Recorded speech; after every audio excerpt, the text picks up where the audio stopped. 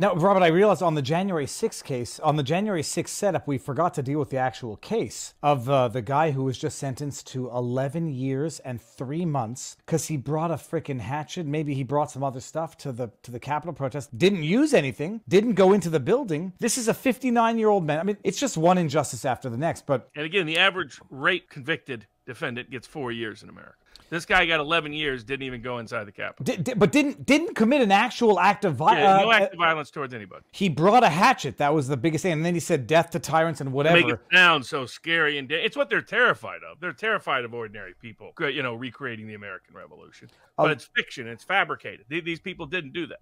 That they're, they're, in fact, more and more evidence is coming out that the only violent interaction at all between any member of Capitol Police and anybody on there on January 6th was in response to Capitol Police violence. That's why they've been hiding the tapes all along. None of these people were as violent as everybody else was in the Summer of Love throughout America, and and, pro, and almost none of them faced any prosecution or punishment, including the ones in D.C. who tried to raid the White House and burn down the church across from the White House. That that loser legal Schmiegel, uh, you know, tried to bring a lawsuit. I'm pretty sure he lost because I have never heard him talk about it again. So it's like, ah, he lost like he usually is. That's what losers do. They lose. That's legal Schmiegel, otherwise known as legal Eagle, Legal uh, uh, here on, on YouTube.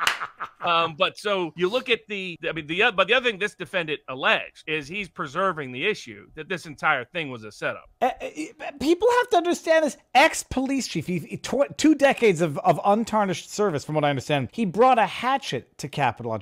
Jesus, I bring a hatchet going hiking. So if I if I I'm a camping and I say 11 years in prison, he's a 59. That's a death sentence for a 59 year old man. Just as he drove from his home to the state from the uh, California to Washington. Terror! How dare he? Instead of flying so that he could load his car with weapons. Federal prosecutors said, and all he brought was a hatchet because that's how you overthrow a government. I mean, maybe, maybe back in the day. Uh, it- it's it's an absolute atrocious outrage. You- people can And he read it. details all the informants, infiltrators, instigators, provocative actions, lack of security presence, uh, inconsistent actions of the Capitol Police uh, that were agent provocateurs in one way, shape, or form, sometimes escorting people in, sometimes directing them to certain places, sometimes physically attacking vulnerable people. I mean, like, why do you attack an old lady three times, throw her down a flight of Why do you do? You, you do that to provoke the crowd. Why are you throwing, you know, th- uh, uh, the equivalent of almost like grenades and uh, their sound effect. Well, I mean, I think you experienced I that. experienced that in, in, in Ottawa. It's like, why are they doing this? Then I understood why they're doing it to trigger a panic response from the crowd.